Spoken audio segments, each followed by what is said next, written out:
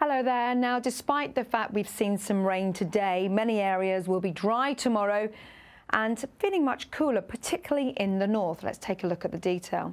Well, the bigger picture, this ridge of high pressure still influencing our weather and what that's meant today. This weather front has been a weak feature, but it has brought a little rain across these parts.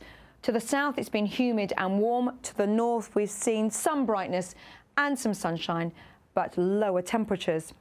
So through a Monday evening into Tuesday morning, we watch as this rain tends to ease, remaining a little bit damp, particularly across the northeast of England, clearer skies in the south and east, and starry skies across Scotland and Northern Ireland, where there could be some mist and fog patches but also it's going to be a cooler night.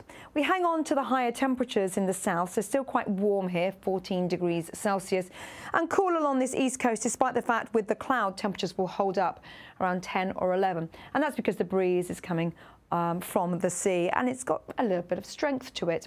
But if we just zoom in across Scotland where we see clear skies overnight, temperatures really taking a tumble so we could see a localised air frost and inland with those clear skies, generally temperatures 2 to 6 degrees Celsius. It's really just the east coast where we see more cloud and temperatures holding around 10 degrees Celsius. And tomorrow that cloud will bother the east coast of Scotland again, northeast England as well. The clouds will break up in situ across much of the Midlands and Wales and central southern England. So we will see some brighter skies coming through here and many areas not seeing very much damp weather where we see that thicker cloud, unlike today. However, for, I would say, Berwickshire, the border region, still uh, a little rain in the wind. But further west, we'll see some brighter skies, a fine day here, some sunshine, and more sunshine coming through anywhere from East Anglia, central southern England, as well as the southeast. Cornwall not doing too badly, as well as the north and the west of Wales.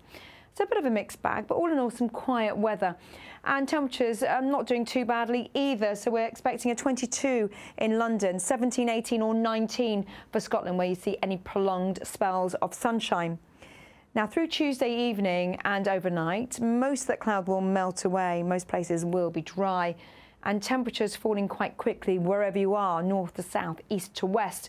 So it's going to be another cool night. And again, inland, in rural spots, temperatures are a lot lower than this. So we could see a localised air frost or ground frost in one or two spots. But notice towards the west, this area of cloud, the wind picking up and also some outbreaks of rain. That's going to push in across western fringes of Scotland as we head through Wednesday. Generally, though, Wednesday is going to be another fine day. It could be a bit cloudy first thing across England, but the cloud will break up and we'll see some sunshine. Later, though, that rain arrives across the Western Isles, moving in across Argyll and clipping Northern Ireland away from Newry as well as Belfast. But to the east of the higher grounds of Scotland, yes, you'll see some fine weather here, and that fine weather extends all the way down towards northern England, so a better day to come.